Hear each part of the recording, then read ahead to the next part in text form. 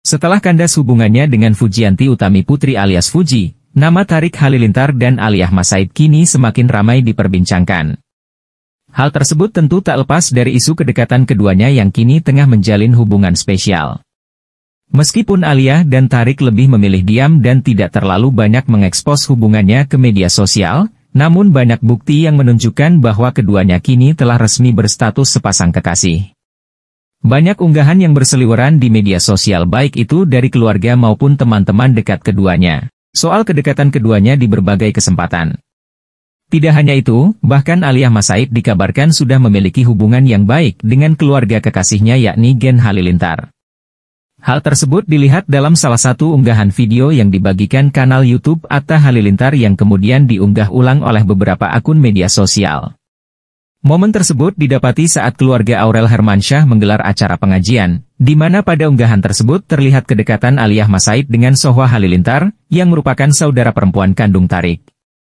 Dalam video tersebut, Aliyah nampak duduk di samping sahabatnya, Aurel Hermansyah yang tak lain tak bukan kakak ipar dari kekasihnya yakni Tarik Halilintar. Pada momen pengajian itu, Aliyah nampak memakai busana tertutup dengan kerudung berwarna putih.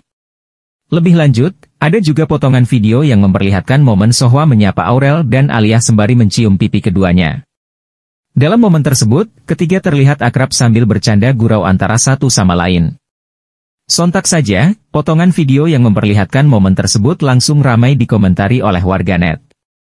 Tidak disangka, banyak warganet yang membanding-bandingkan hubungan antara Alia dan Gen Halilintar dengan hubungan Fuji, mantan Tarik, dan Gen Halilintar dulu. Sejumlah warganet menganggap bahwa saat Fuji memiliki hubungan dengan Tarik Halilintar selama satu tahun itu, dia tidak memiliki hubungan sedekat itu dengan keluarga Gen Halilintar dulu. Banyak yang mengasihani nasib Fuji saat dulu masih berstatus menjadi kekasih Tarik Halilintar. Lihat gini jadi kasihan sama Fuji yang sudah satu tahun, buat silaturahmi aja gak bisa. Ya namanya jalan hidup orang, gak ada yang tahu, tulis warganet. Sejujurnya aku gak mihak ke siapa-siapa karena mereka berdua sama-sama cantik. Tapi kalau aku di posisi Fuji, agak sedih juga sih. Kedatangan Fuji di kehidupan. Tarik kurang diterima sama keluarga Tarik. Kadang mikir salah Fuji apa sih? Apa karena penampilan atau karena latar belakang keluarganya bukan artis, tulis warganet lain. Fujian kok gak sedekat ini sama keluarga Jarwo, Tarik, ya? Deketnya cuma pas joget-joget di TikTok bae, dimanfaatin buat konten, kata lainnya. Kelihatan ini si ceweknya yang mencoba masuk dan menyesuaikan diri, kalau Fuji MAH apa adanya aja.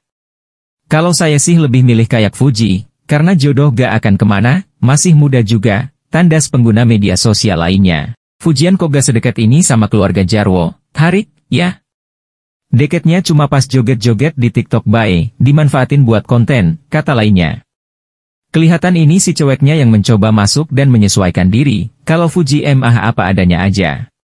Kalau saya sih lebih milih kayak Fuji, karena jodoh gak akan ke mana, masih muda juga, tandas pengguna media sosial lainnya, selain itu siapa yang tak kenal dengan sosok Fuji, seperti yang diketahui, adik ipar mendiang Vanessa Angel ini sempat jadi sorotan karena kehidupannya.